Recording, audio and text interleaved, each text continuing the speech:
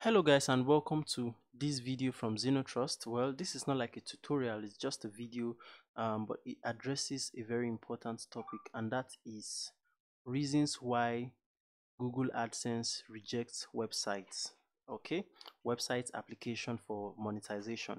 Okay, so now let's get right into it. The first reason is content. Okay, if you have a website and your content is not unique, um, your content does not add a distinctive value. In other words it doesn't give the user a reason to you know want to visit your site again then that is a very legitimate reason why google adsense actually rejected your application okay? So content is the first word okay? So another thing is if you have content that um, you copied from other websites online i mean you copied content from different blogs or you know on different websites online then somehow google has a way of finding out some of these things and flagging your website as you know copyrighted content website. Okay so i'm going to show you this is um, a page that specifies some of the things that makes google reject some websites um, based on content. So if you have illegal content um, content that has some intellectual property abuse um, content that you know is dangerous or contains derogatory um, stuffs okay?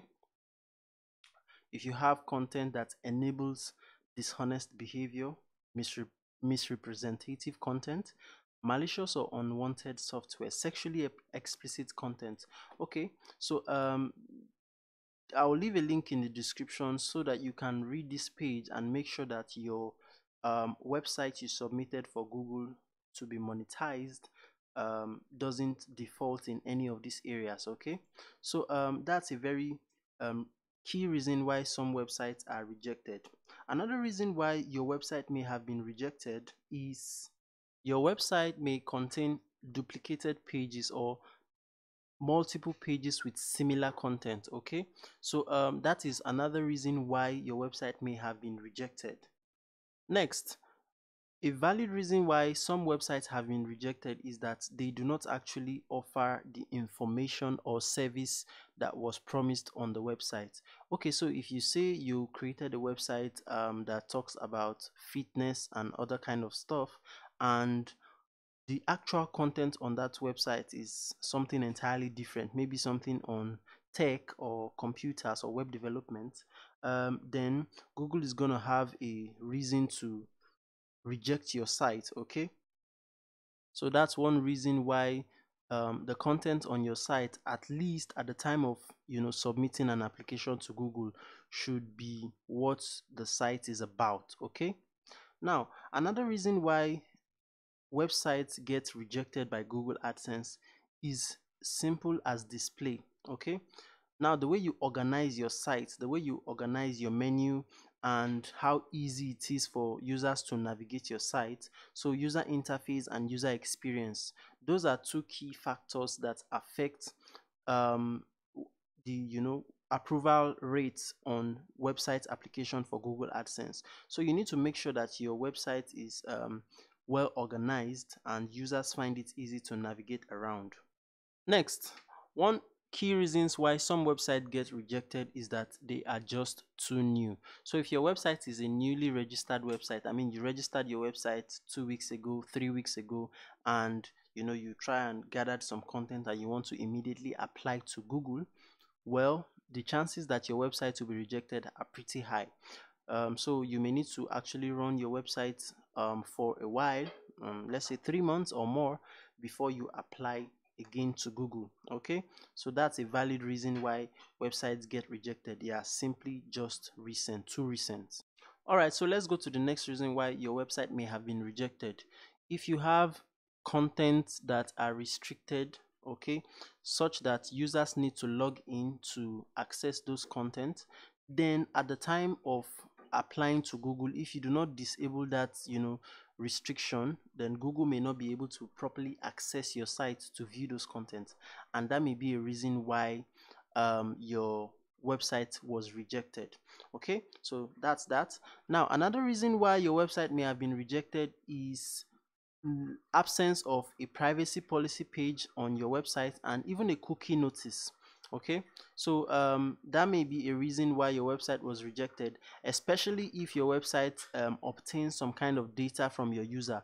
You absolutely need a privacy policy page and even a cookie notice okay? Now the next reason why um, your website may have been rejected is that you have poor traffic or non-organic traffic. So not by non-organic traffic i mean um, traffic generated by you know sponsored adverts and other stuffs okay? So um, if you have poor organic traffic then there's a likely chance that your website would be rejected. So you may need to do something about that before uh, reapplying to google okay? Now here's another reason why your site may have been rejected. If you have links on your website that lead to other websites with inappropriate or even harmful content, then your website would definitely be rejected by Google because this goes against their terms okay adsense um policies and terms okay so you may need to check that to make sure that your website is not redirecting or there is no link on your website that redirects to a website containing inappropriate content or content that are against Google's AdSense policies. Another valid reason why your website may have been rejected is you have a poor hosting with um, frequent server downtimes or your website is actually very slow okay? So um so those are the so essentially the word that summarizes this is website performance. If your website has very poor performance this may be a reason why um google can reject your website okay all right so next reason is you're less than 18 so if your google account states that you're less than 18 then you will not be able to submit a website to google for adsense purposes okay? Last if you've been banned before by google then forget about submitting a website to google adsense. Um, i don't know how what you want to do about this but this is just um, the facts. So um, thank you so much for watching this video.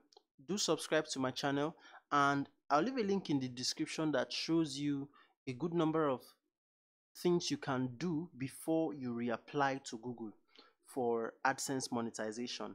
Like I said, I create great content on these kinds of topic, web topics, um, you know, web design, programming, and other stuffs. So make sure to subscribe to my channel. Thank you so much for your time and see you in another video.